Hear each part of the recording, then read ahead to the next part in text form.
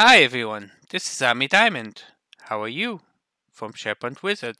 In this episode, I'd like to show you a new sharing experience for pages in SharePoint.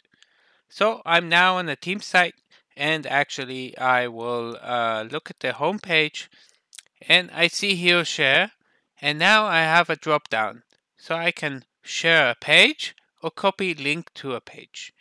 Now I have created a new page and you see here under share, I have three possibilities. Share page, copy link to page, and send to by email.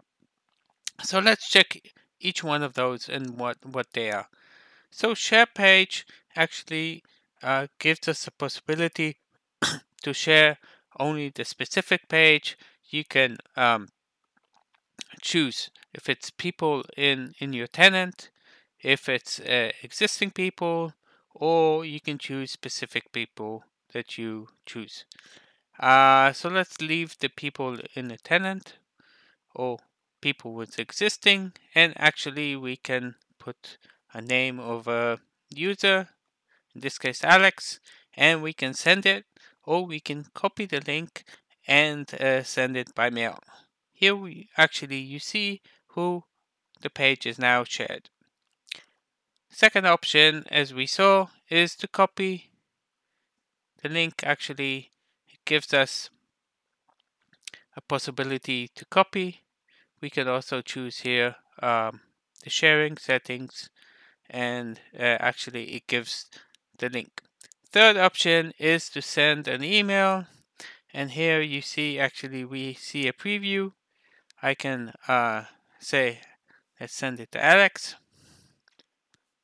and I could put the message hello world and I can just send it and user will get it even email sent. This is uh, interesting this uh, notification. So this is in short what I wanted to show you.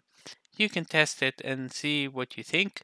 Uh, strangely enough there's a difference between uh, the home page and uh, an additional page so we see the send to email does not exist on this home page, but that's not really such a big difference. Um, okay, if you like my channel, subscribe and see you in the next episode.